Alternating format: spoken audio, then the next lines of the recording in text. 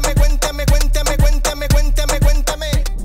Le van a sacar un disco después de casi 30 años de, fallecida a mi, querida, a mi querida Selena. Y les digo algo, va a vender va a vender muy bien este disco porque fíjense que eh, se dio a conocer que la familia Quintanilla lanzará un nuevo disco con canciones inéditas de Selena. Fíjense que Selena había dejado muchos, algunos temas, no muchos, pero sí dejó algunos temas grabados y bueno, pues fueron arreglados por Evi Quintanilla con tecnología que harán que suene y cómo era su voz antes de morir. Será el próximo 30 de marzo cuando se cumplan 27 años del asesinato de la reina del Tex-Mex.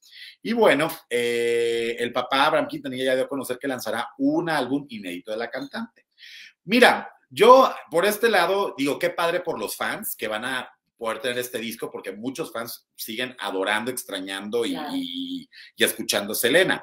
Pero por otra parte, digo, pues, este, ay, ¿cómo es posible, verdad? Que, que, pueda haber familias que sigan comiendo de alguien que no está o que sigan queriendo vivir de, de, de ellos. Pero bueno, yo me voy más por, por lo positivo que es que el, público y los fans de Selena pues van a tener un disco nuevo de nuestra reina del Tex-Mex, porque la verdad yo también era fan de Selena, se los digo de todo corazón.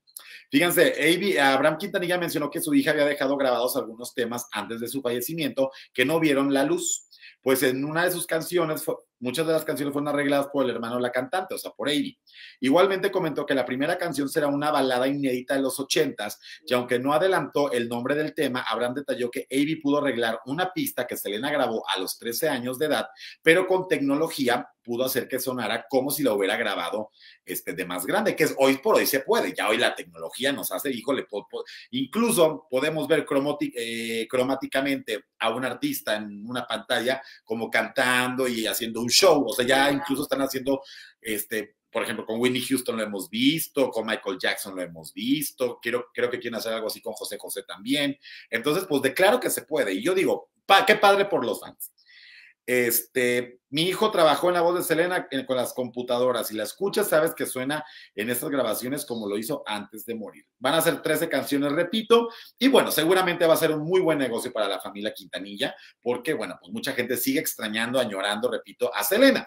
Y la verdad, pero yo le pregunto a ustedes, querido público, ¿comprarían el disco? Yo sí. Es, o sea, si tú me preguntas, yo sí lo compraría. Mm. Que yo hoy por hoy no creo que sea un, un disco físico, porque incluso ahí se ahorran mucho dinero este, las producciones. Serían es descargarlo. Yo sí, la verdad, descargaría las canciones porque pues a mí me encanta Selena, ¿verdad? Este, pero sí veo como que la familia, eh, híjole, pues no sé, como que yo, pues ya déjenla descansar en paz, ¿no? O sea, no sé. Pero también por otro lado digo, bueno, es una manera de que siga viva nuestra, nuestra reina del Tex-Mex. O sea, pues ahí tengo como opiniones encontradas. Pero bueno, lo que digo es que qué padre que vamos a escuchar canciones inéditas de nuestra querida Selena y a ver qué tal nos va. Este, dice Alan PC Gamer. Mitch, te admiro mucho, pero ya deja en paz a Gustavo. Supera otro, es un excelente comunicador. Alan, es que, a ver, entiendan algo, querido. Es noticia. O sea, no es porque yo traiga algo contra, es noticia.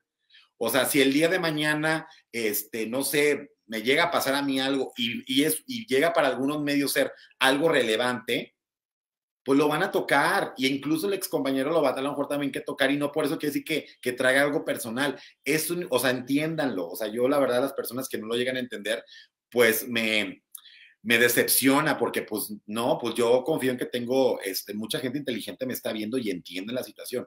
Es simplemente, aparte, el que, no, el que, el que hace la nota no soy yo es una serie, es otro famoso que le está tirando, no soy yo. O sea, hay que entender que, es meramente información y que es un medio y que al final del señor es alguien que sale en la tele y pues se tiene que hablar de él, se habla de él y punto.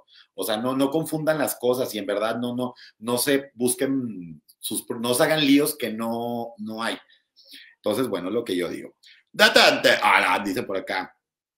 Tú habla de quien quieras, Mitch, y me encantan los detentes. Ah, detente, Olguita, te mando un en donde te lo quiero acomodar. Y no es personal. Espero que lo, lo entiendan, porque yo ni soy mala persona, ni vivo del pasado, ni vivo, pues que me cae mal, me cae mal, y eso va a ser, pues siempre. Pero pues tengo que hablar de él. O sea, cuando sale una nota de él, se pues, ha hablado de él, porque así es, no es por otra cosa. El chisme, el chisme, claro, Nikibe, por supuesto. Este, que dice por acá, Mitch, es solo mi opinión. No, Alan, ni te la agradezco. Es, no, es nada más que te lo explico para que quede claro que no es porque yo, o sea, no es que porque ya superalo, no es eso. Tan he superado que me estoy yendo mucho mejor, que estoy trabajando, que estoy, se me abren puertas. Ayer estuve en Televisa, que estará haciendo, ahorita les contaré.